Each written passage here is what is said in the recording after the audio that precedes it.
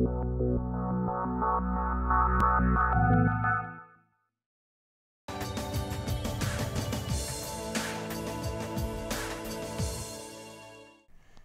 everyone. Welcome to the episode that deals with the preposition and prepositional phrases and verbs and verb structure. Here we will discuss the meaning, types and functions of the above mentioned aspects of grammar along with examples.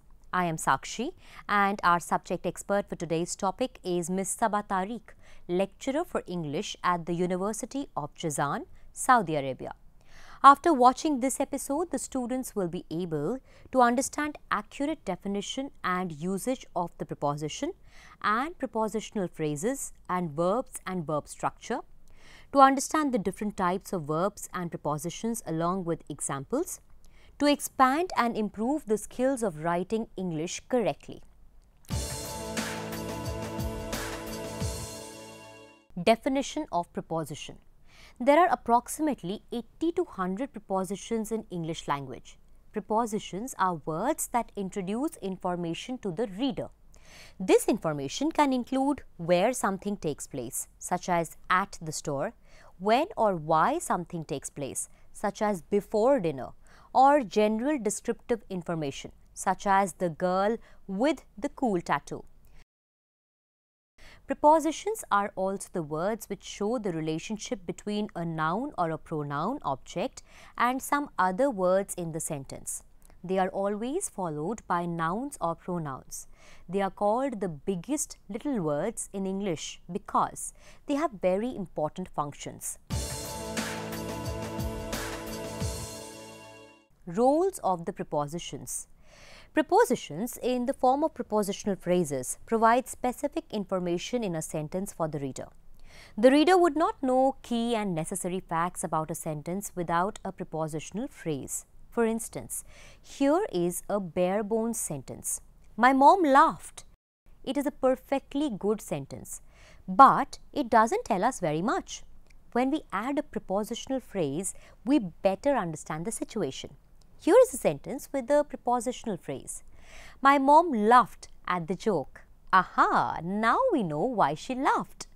Now, let's take a look at what prepositions modify. To modify means to give additional information about something. Whole prepositional phrases modify other words in the sentence. For instance, think about the prepositional phrase uh, to the zoo. In a sentence, it might read like this my parents went to the zoo. The prepositional phrase to the zoo modifies the verb went by providing additional information as to where the parents went. Prepositions also modify nouns. Take a look at the sentence. Missy chose the couch with the leather-like surface. The prepositional phrase with the leather-like surface modifies the noun couch. Prepositional phrases can also line up back to back in sentences, much like box cars on a train. This sentence is extra long to make the point. Stella ate her breakfast in the morning under a tree without any company before the sun rose in Venice. We could have simply said Stella ate her breakfast, but the prepositional phrases add so many more interesting details to the sentence. This is a perfect example of why we need to use prepositional phrases in our writing. Prepositional phrases. Here are some examples of prepositional phrases. Under the deck, during the lecture, across the yard, after lunch, behind the tree. The word in quotes is the preposition and the words that follow the preposition make up the prepositional phrase. Think about a mountain for instance. A prepositional phrase is just about anything that we can say in relation to a mountain. Like to the mountain, over the mountain, under the mountain, towards the mountain. This is a good way to test a group of words in order to see if they do indeed fit the definition of prepositional phrases. The object of the preposition is the noun that follows the preposition. It is also the stopping point for each prepositional phrase. For instance, we might say, to the store. The word to is the preposition and store is the object of the preposition. Here's another example. in the light. The word in is the preposition and light is the object of the preposition.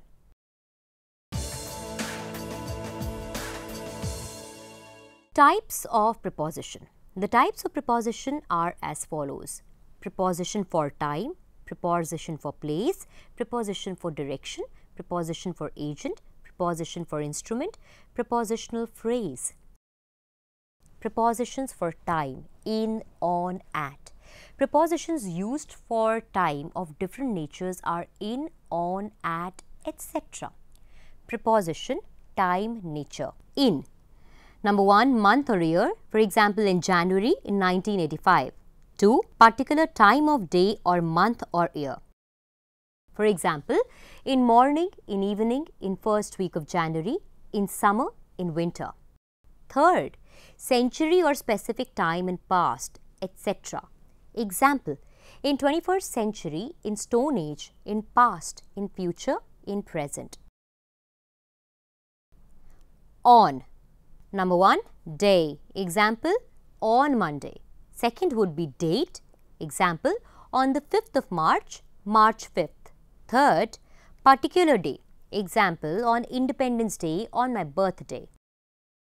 At number 1 time of clock for example at 5 o'clock at 7.30 pm. Second short and precise time for example at noon, at sunset, at lunchtime, at bedtime, at the moment, at the same time. Examples He was born in 1945. She will go to New York on 25th of March. The concert will begin at 7 o'clock. He gets up early in the morning. We enjoyed a lot in the summer. The president will deliver speech to public on Independence Day. She received a lot of gifts on her birthday. Where were you at lunchtime?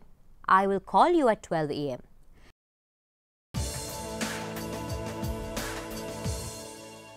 Preposition for place in, on, at. Prepositions in, on or at are usually for different places. In is usually used for place which have some boundary. Boundary may be physical or virtual. On is used for surface. At is used for specific place. Preposition place nature in. Place having some boundary, physical or virtual boundary. Examples would be in hall, in school, in a building, in a box, in a car, in library, in garden, in America, in room, in cupboard. On, surface of something.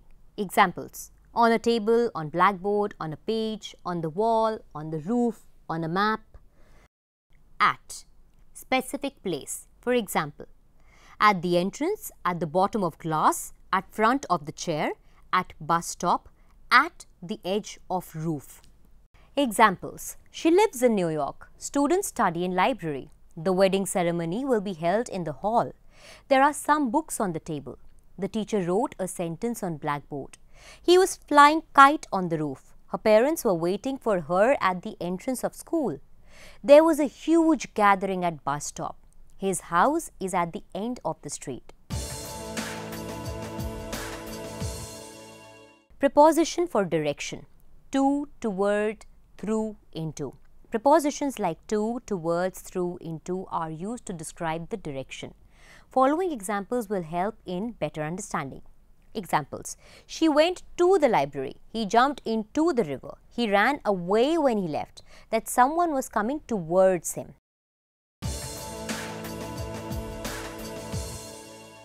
Preposition for agent by Preposition for agent is used for a thing which is a cause of another thing in the sentence.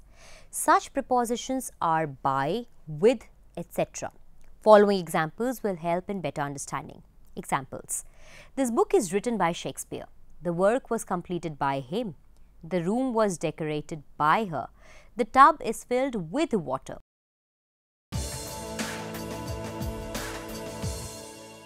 Preposition for device, instrument or machine. Different prepositions are used by different devices, instruments or machines. For example, by, with, on, etc. Following examples will help in a better understanding. Examples. She comes by bus daily. He opened the lock with key. prepositional verb. A prepositional phrase is a combination of a verb and a preposition. It is just a verb followed by a preposition. Prepositional phrase is equal to verb plus preposition. Some verbs need particular prepositions to be used after them in sentences having a direct object. Such a verb with its required preposition is called a prepositional phrase.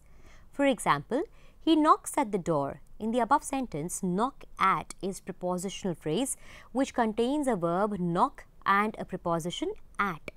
Without the use of correct preposition after a prepositional verb in a sentence, the sentence is considered to be grammatically wrong. For example, if we say he knocks the door, it is wrong because it lacks the required preposition at. So, the correct sentence is he knocks at the door. Prepositional verbs are transitive and they have a direct object in sentence. Some of the frequently used preposition verbs are laugh at, knock at, listen to, look at, look for, look after, wait for, agree to, agree with, talk about, talk to. Examples She is listening to music. She looked at the blackboard. We believe in God. They were waiting for the teacher. Do you agree with me? Do you agree to my proposal? Someone is knocking at the door. You should not rely on her.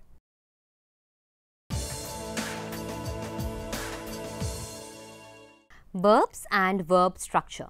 A verb from the Latin verbum meaning word is a word part of speech that in syntax conveys an action. Bring, read, walk, run, learn, an occurrence, happen, become or a state of being be, exist, stand.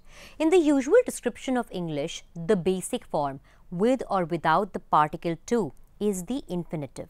In many languages, verbs are inflected, modified in form to encode tense aspect, mood and voice.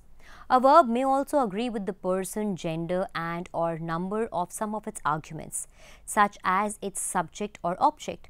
Verbs have tenses, present, to indicate that an action is being carried out. Past to indicate that an action has been carried out.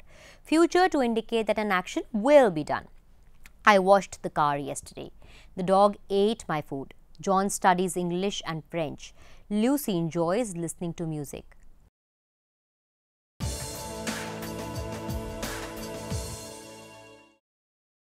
Agreement in languages where the verb is inflected, it often agrees with its primary argument, the subject in person, number and or gender.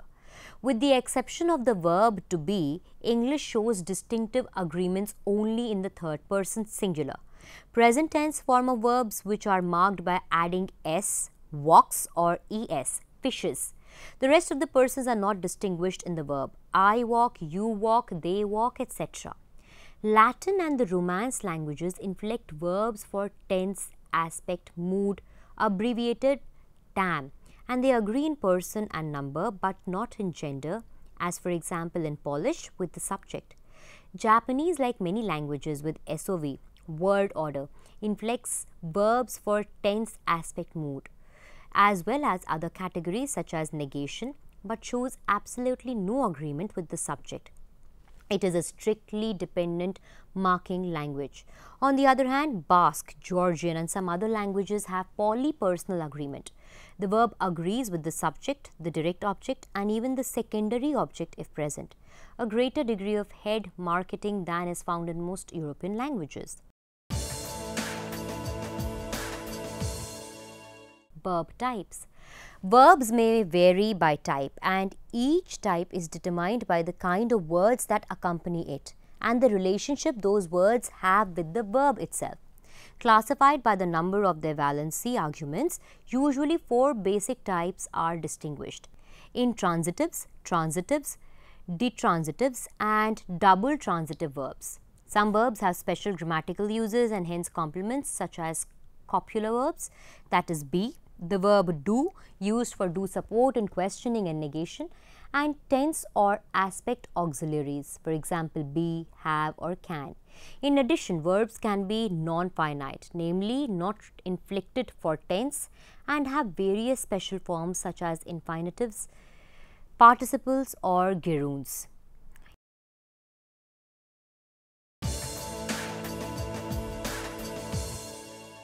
Intransitive verbs an intransitive verb is one that does not have a direct object. Intransitive verbs may be followed by an adverb, a word that addresses how, where, when and how often, or end a sentence. For example, the woman spoke softly. The athlete ran faster than the official. The boy wept.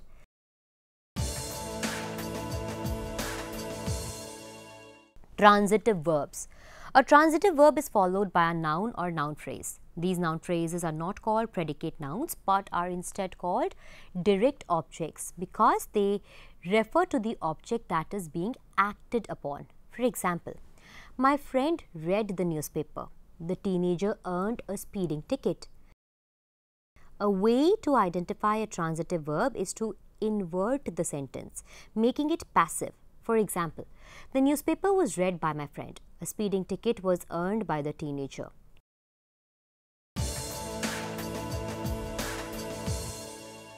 Ditransitive verbs. Ditransitive verbs, sometimes called VG verbs, after the verb give, precede either two noun phrases or a noun phrase and then a prepositional phrase often led by to or for. For example, the players gave their teammates high fives. The players gave high fives to their teammates.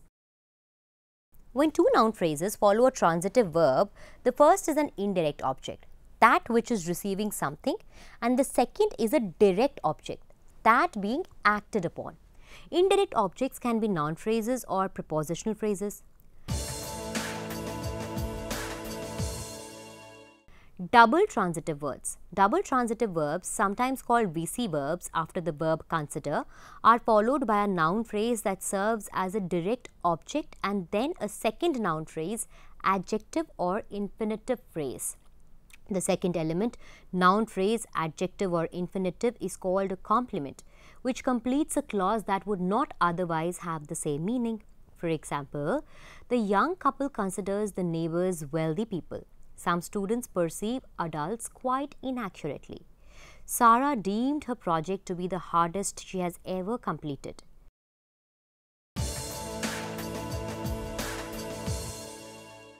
Copular verbs.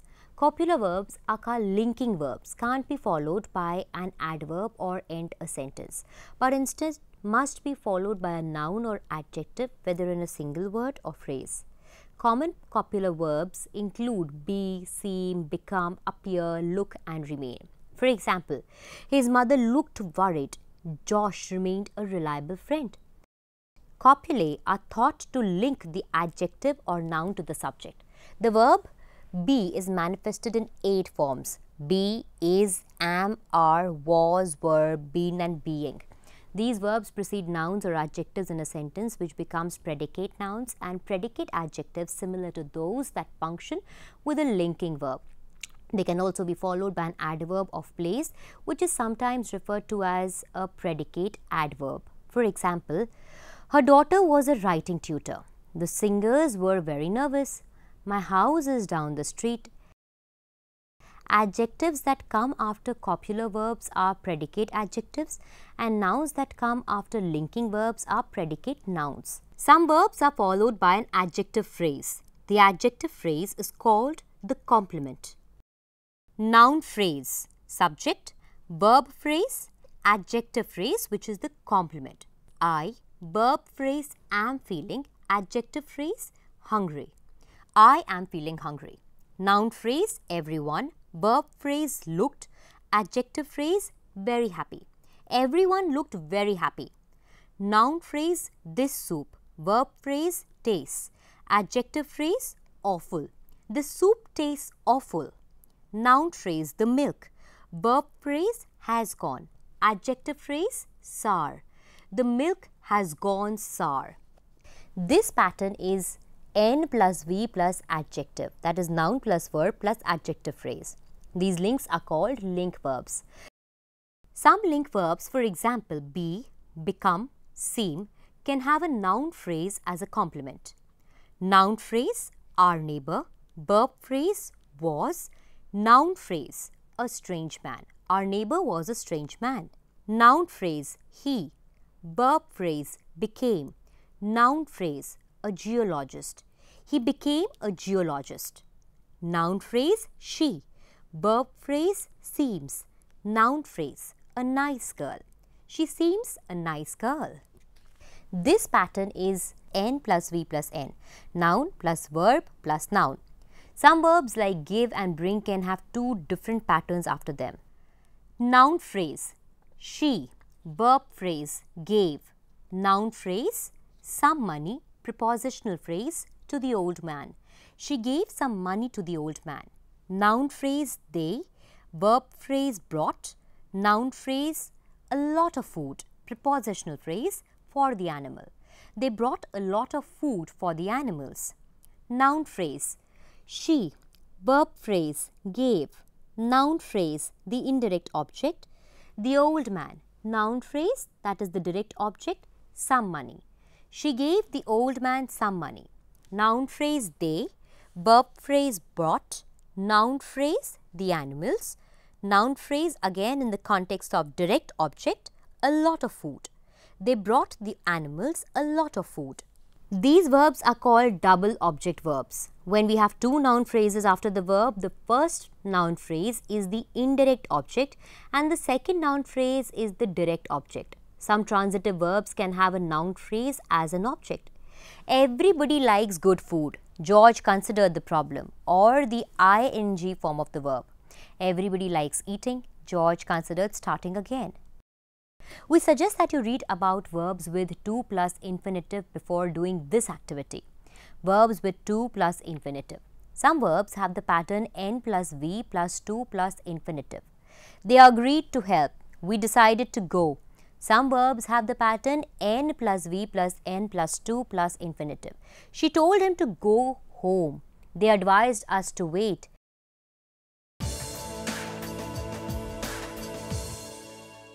Reporting verbs with that WH and if clauses. Reporting verbs with that clauses. Some verbs introduce a report, an idea or a summary. These verbs have the pattern N plus V plus that plus clause. When we want to say what someone says or thinks, we can use a clause with that. He said that I had to see a doctor. I thought that he was being silly. We can leave out the word that. He said I had to see a doctor. I thought he was being silly. With some verbs, we can mention the hearer as the object of the verb. She reminded him that it was time to go. He told me he was a friend of yours. These verbs have the pattern n plus v plus n plus that plus clause. Reporting verbs with WH and if clauses. Some verbs introduce summaries, reports, questions or problems. She explained what we had to do. He asked if I was ready. I didn't know what to do. These verbs have the pattern N plus V plus WH plus clause. She wondered where she was or N plus V plus F plus clause Ken asked if we wanted to go. With some verbs, we can mention the hearer as the object of the verb. She asked me if I was ready. He told me what I had to do. These verbs have the pattern n plus v plus n plus wh plus clause. I told them what he was doing or n plus v plus n plus if plus clause. Ken asked us if we wanted to go.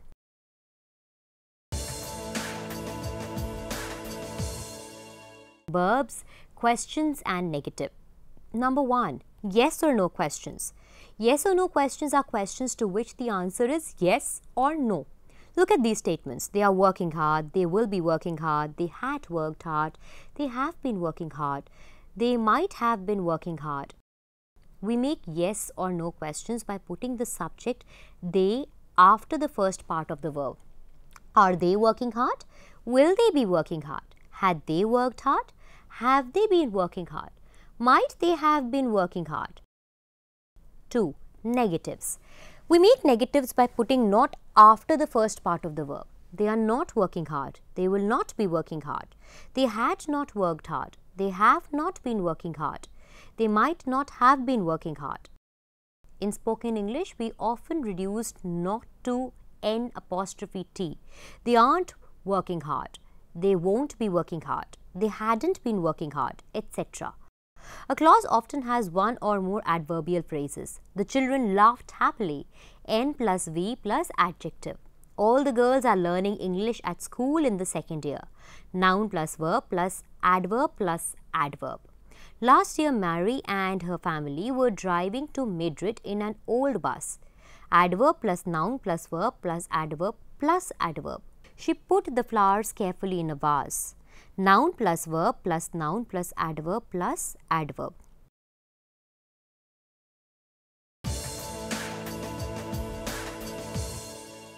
The different verb structures. The structure of the clause depends on the verb. For example, an intransitive verb has the structure noun plus verb that is John plus smiled. A transitive verb has the structure noun plus verb plus noun. We plus had been playing plus football. A link verb has the structure noun plus verb plus adjective. She looked happy.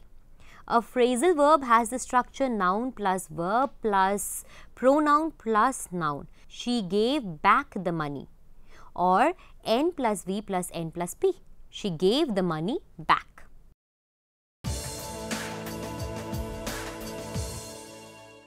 Conclusion Thus, in this episode, we talked about two very important parts of speech the preposition and prepositional phrases, and verbs and verb structures.